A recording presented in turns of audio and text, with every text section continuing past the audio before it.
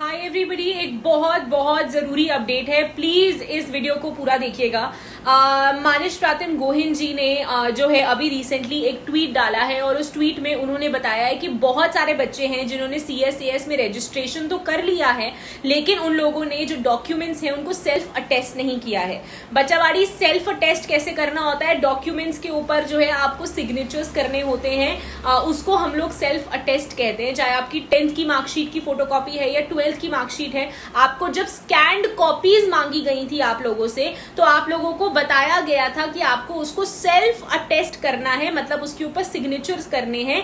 और बहुत सारे बच्चे हैं जिन्होंने उसको सेल्फ अटेस्ट नहीं किया है। तो अगर आपको, आप लोगों ने अगर अपने डॉक्यूमेंट्स को सेल्फ अटेस्ट नहीं किया है तो उन्होंने एक ईमेल आईडी बताई है, जिसपे आप उन डॉक्यूमेंट्स को भेजेंगे और फिर तो आप लोग जो है उस उन डॉक्यूमेंट्स को जो है सेल्फ अटेस्ट और स्कैन करने के बाद आप लोग जो है उसको भेजेंगे UG at admission dot D U dot A C dot in ये उन्होंने एक ईमेल आईडी बताई है। उस ईमेल आईडी पे आपको मेल करने हैं और साथ साथ आपको आपको पहचानेंगे कैसे कि कौन हो आप। तो आपको जो है साथ में आपका एप्लीकेशन नंबर डालना है। वेरी इंपॉर्टेंट प्लीज़ मेरी बात को ध्यान से सुनना। अगर मान लीजिए कि आप जनरल कैटेगरी से हैं तो जनरल कैटेगरी वाले बच्चों को क्या करना है? या कोई भी कैटेगरी से है तो आपने अगर कोई भी सर्टिफिकेट अगर जमा करने करे हैं और आपने उसको सेल्फ अटेस्ट नहीं किया तो आप मैं मैं तो आपको कहूँगी सारे सर्टिफिकेट्स को दोबारा भेज डालो अगर आप लोगों ने सेल्फ अटेस्ट नहीं किए। और उन आ, उन डॉक्यूमेंट्स में आप, आप अपने सिग्नेचर्स उस, उस कॉपी को स्कैन कीजिएगा और साथ ही साथ उसको UG at admissions dot D U dot A C dot in e mail I D पे सेंड कीजिएगा अपनी एप्लीकेशन नंबर के साथ।